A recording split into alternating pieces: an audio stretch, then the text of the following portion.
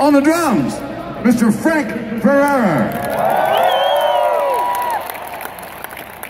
On the keys to my left, Miss Melissa Reese. And on the guitar, Slash.